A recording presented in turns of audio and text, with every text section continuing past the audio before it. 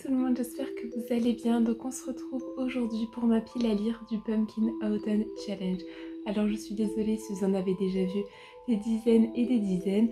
Aujourd'hui je vais vous présenter uniquement des ouvrages en lien avec euh, l'automne ou Halloween, donc c'est-à-dire des choses qui se passent en, automne ou des choses plutôt euh, frissonnantes, de l'horreur, etc.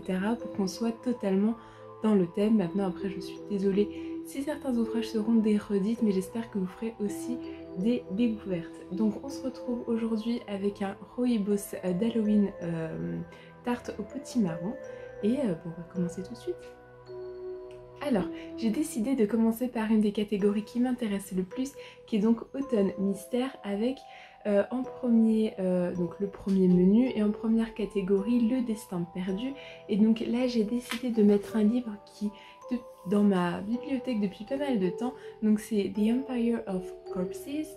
Et euh, donc ici on est sur euh, du steampunk, on est sur aussi l'univers euh, de Frankenstein et donc c'est pour ça que je me suis dit que ce livre correspondrait parfaitement.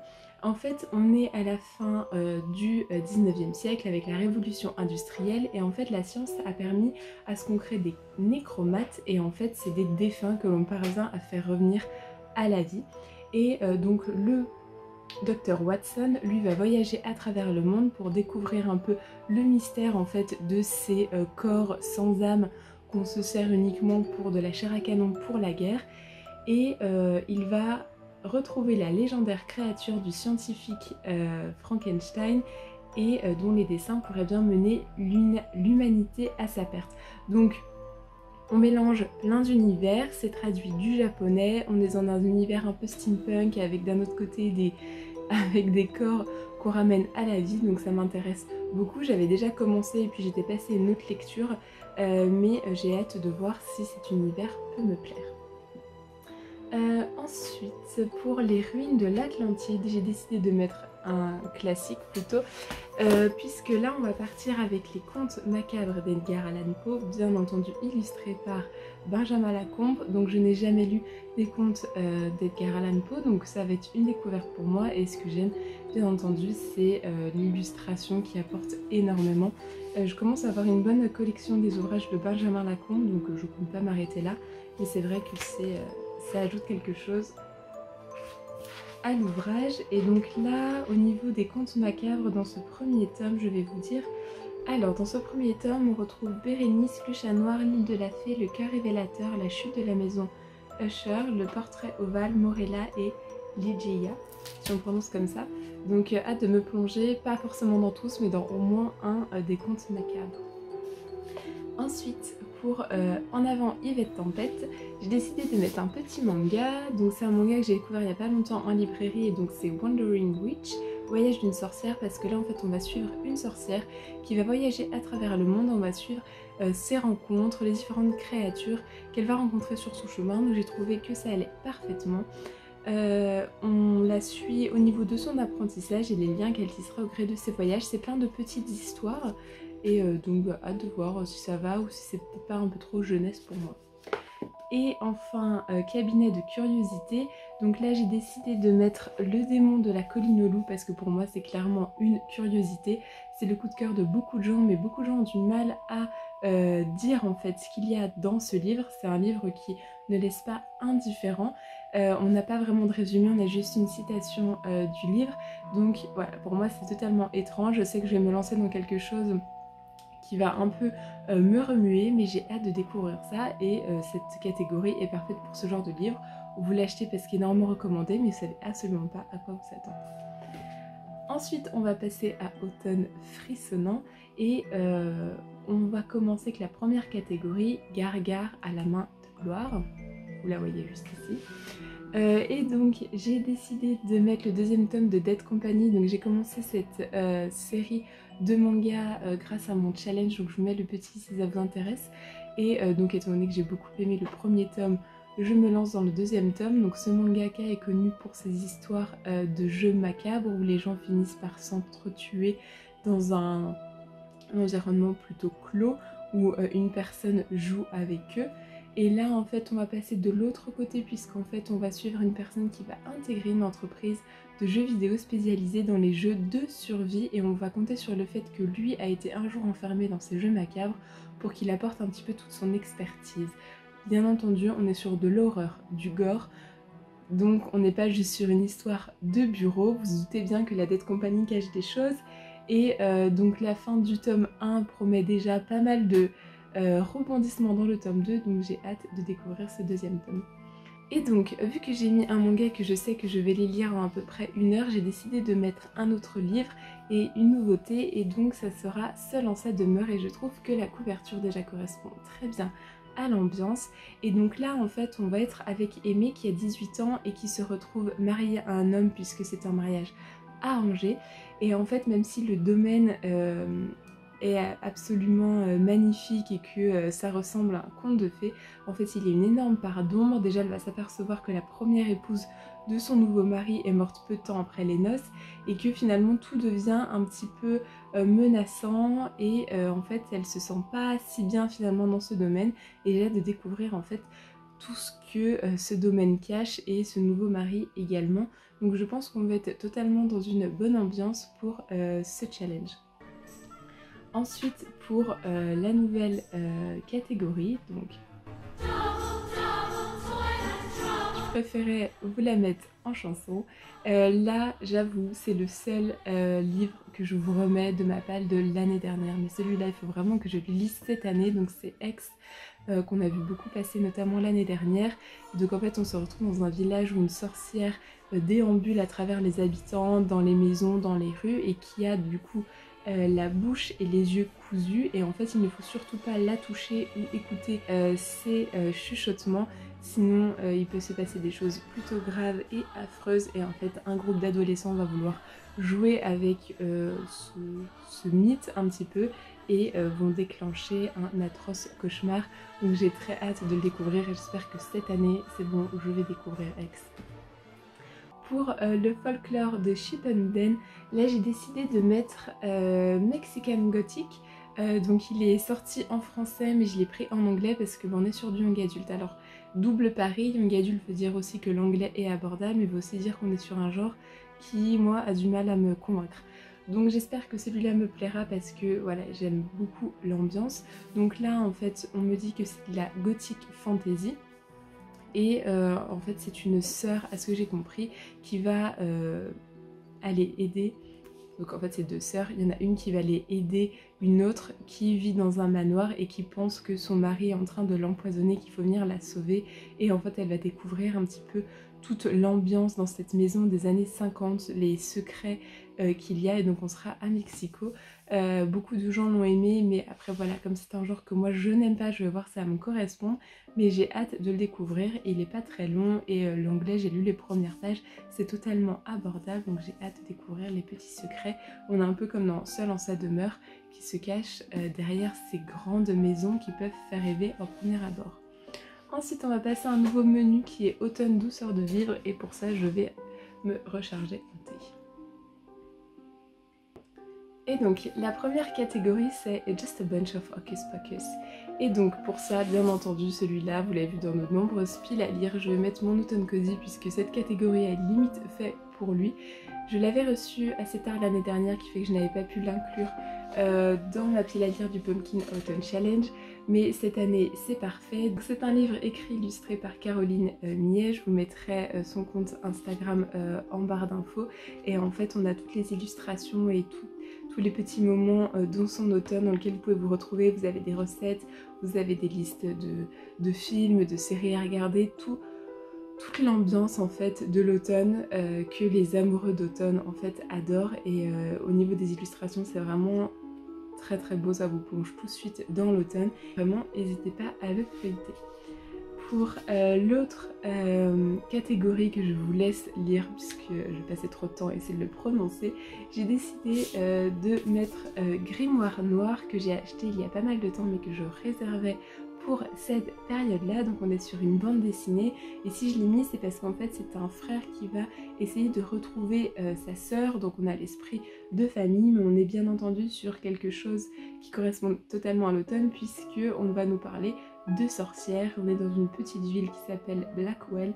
Donc j'ai trouvé que c'était parfait. Et alors vraiment Les images sont vraiment très très belles. C'est une BD que je trouve euh, vraiment très belle à regarder en plus de la lire. Donc j'ai hâte de m'y plonger. Je pense qu'en plus ça va me prendre un certain temps puisqu'elle est quand même assez épaisse. Donc on est plutôt sur un roman graphique. Mais euh, j'ai très très hâte de m'y plonger. Et euh, vraiment le graphisme c'est typiquement ce que j'adore lire en automne. Ensuite pour Il suffit de se souvenir de rallumer la lumière, je vous présentais un de mes livres qui va devenir un de mes livres phares euh, pendant cette période, qui est donc l'épouvantable encyclopédie de fantômes. Euh, celle-là, je l'avais déjà repérée, mais c'est la première fois que je la voyais en librairie, donc j'ai même pas réfléchi, je l'ai pris directement. C'est totalement le genre d'illustration que j'adore, que j'aime regarder et lire dans cette période et même le reste de l'année. Euh, moi, l'univers Tim Burton, c'est vraiment quelque chose dans lequel je me sens bien. C'est vraiment pour moi douceur de vivre, c'est ça. C'est si j'ai un petit coup de mou, etc. C'est le genre de film que je vais regarder. Donc, bien entendu, ensuite après, j'ai découvert Benjamin Lacombe puisque je trouve que leurs univers sont assez similaires et on retrouve en fait certains éléments. Donc, en illustration, je me suis tout de suite tournée euh, vers lui. Et puis, il y a euh, cet ouvrage qui me rappelle énormément ces deux univers. Toutes les illustrations, je pourrais vous les montrer pour montrer à quel point euh, je les adore et c'est clairement un univers dans lequel j'aime me replonger, j'aime en fait euh, me mettre dans ma bulle et en fait être juste dans euh, ce genre d'univers. Il est quand même assez épais donc c'est beaucoup d'histoires de, qui vont prendre du temps mais c'est parfait. et de toute manière c'est typiquement le genre de livre que je peux feuilleter le reste de l'année. Et on me dit, dans les combles de l'au-delà, Voyez-vous, quand les ombres s'abandonnent, les douze coups de minuit enfantent des chimères. Les fantômes parlent peu, mais ils se font comprendre. Il suffit d'être à l'écoute, de s'abandonner à leur rencontre et de recueillir les signes.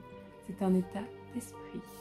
Donc euh, vraiment, j'ai très très hâte de découvrir. J'aime énormément tout le travail qui a été fait sur cet ouvrage. Donc hâte de vous en reparler. Et ensuite, on va passer à la dernière euh, catégorie de ce menu, c'est J'ai un dragon et j'hésiterai pas à faire feu. Et donc là, c'est le seul livre où on pourrait se poser la question de l'automne et de l'horreur, mais vu que je connais pas l'histoire, peut-être qu'on sera positivement surpris. Et donc j'ai décidé de mettre Férocité, donc qui est euh, de la fantaisie euh, animalière. C'est ça, donc j'ai jamais lu la fantaisie animalière et dans ce recueil vous avez 10 histoires. Donc je me dis que dans les 10 histoires, il y en a peut-être une un petit peu, euh, un petit peu flippante. Donc en fait j'avais participé à la campagne de participation et donc je viens de recevoir mon ouvrage étant donné que on a dépassé euh, ce qui était prévu, ça a permis de faire ce magnifique ouvrage en hardback. je vais vous montrer sans la jaquette, il est vraiment très très beau. Hop, voilà. Et donc euh, c'est grâce aux éditions Silex. Et vous avez même à l'intérieur des petites illustrations devant des histoires. Il sent très bon, on voit qu'il a été imprimé il y a vraiment pas longtemps. Il est vraiment de très très bonne qualité, j'aime beaucoup euh, l'intérieur et donc voilà. Vous avez par moments des petites illustrations euh, et, vraiment on sent que le papier est de qualité et que tout le travail éditorial l'est également. Donc j'ai hâte de découvrir euh, ce recueil et je suis très contente d'avoir participé à la petite échelle à ce projet. Et donc si je l'ai mis dedans, c'est parce qu'on me dit attention, si aucun animal n'a été maltraité dans la confection de ce recueil, nous ne pouvons malheureusement pas garantir que ce sera le cas entre ces pages.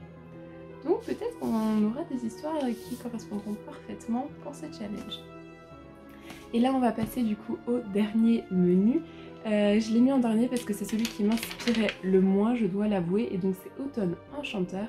Et la première catégorie, c'est la lunette de pierre, cet extra quand on veut voir ce qui ne se voit pas. Et alors là, euh, je suis allée vraiment dans euh, le côté nature. Il suffisait qu'on parle de quelque chose de la nature et j'ai mis le livre. Et vous allez comprendre pourquoi, puisque j'ai mis Apostasie. J'ai très très envie de découvrir euh, Vincent Tassi, puisque je pense vraiment que ça pourrait me plaire, parce qu'on me parle d'un conte macabre. Donc c'est typiquement ce que j'aime lire et l'univers que j'aime retrouver. Et en fait, je l'ai mis dans nature parce qu'en fait, c'est quelqu'un qui va aller euh, vivre en ermite et sur son chemin il découvre une étrange forêt d'arbres écarlates. Bon on est dans la nature en fait. Mais en fait au-delà de ça, donc là c'est le contexte, je pense que c'est le début puisque euh, il va découvrir le maître de la sylve rouge, beau comme la mort et avide de sang, qui l'invite dans son donjon pour lui conter l'ensorcelante légende de la princesse Apostasie. Comment différencier le rêve du cauchemar?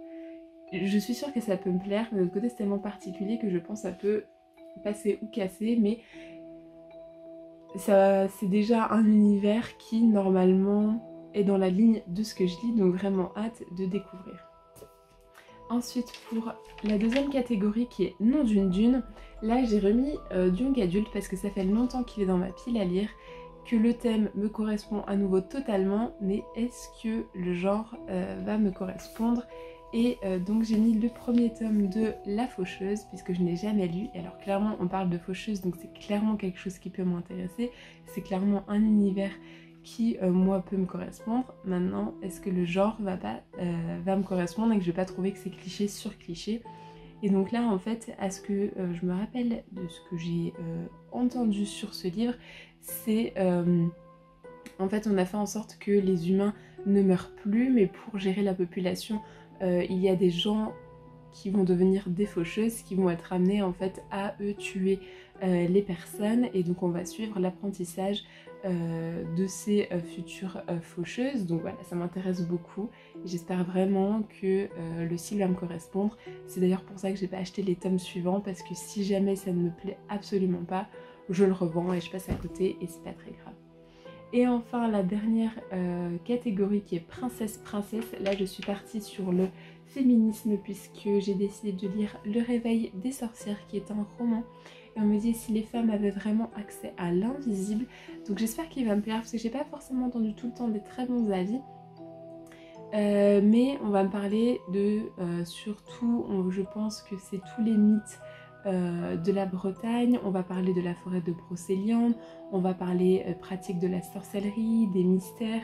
J'ai pas trop envie d'en dire plus pour voir vraiment où est-ce qu'on va, ou est-ce que si on m'a juste vendu quelque chose au niveau des sorcières, des mythes, et qu'au final c'est pas trop ça. Euh, je me suis dit qu'il correspondait très bien à cette catégorie et j'espère vraiment que l'histoire va me plaire, qu'on va pas vendu quelque chose qui ne correspond pas vraiment en fait à ce qu'il y a dans le livre.